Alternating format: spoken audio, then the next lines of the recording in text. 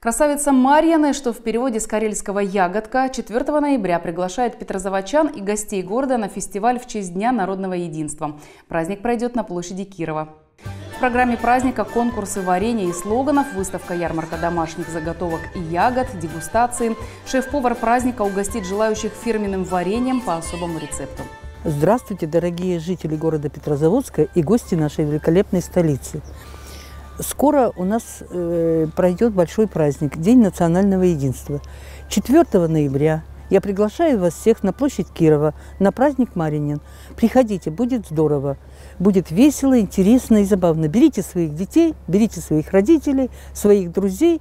Мы ждем вас на большом красивом мероприятии. В связи с народными гуляниями в центре Петрозаводска изменится схема движения транспорта.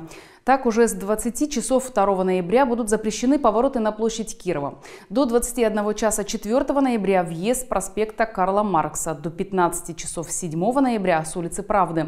С 9 утра до 16 часов 4 ноября будет дополнительно запрещено движение по проспекту Карла Маркса на участке между улицами Фадеевской и Куйбышева.